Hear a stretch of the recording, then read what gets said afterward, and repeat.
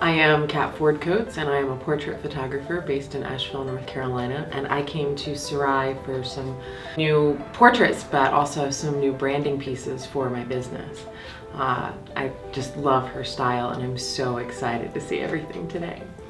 When you go to a portrait photographer, you just sort of hope that they see you in a great light and do everything to flatter you. And even as a, as a photographer, I have the same concerns as fears as any other person walking through that door. Uh, and Saray really made me feel like, you know, everything was under control and taken care of and designed just for me.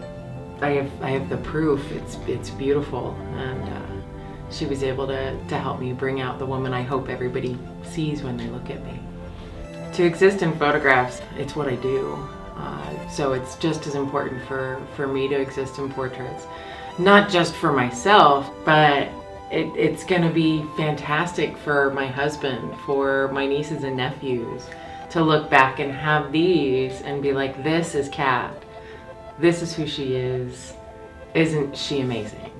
I love them. Uh, I, I love that it makes you take pause because you get excited to see, you know, this woman right here who's really excited, um, or this woman right here who's really confident.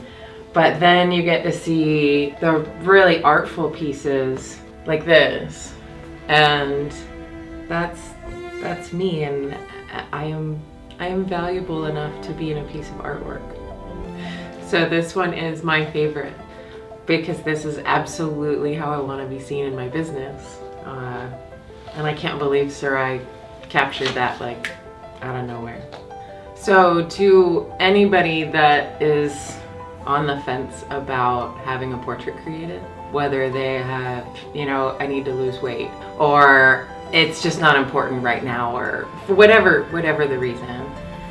Take the time to to invest not only in you know everybody that'll have the portraits after you but in yourself to to have that experience there's there's nothing like it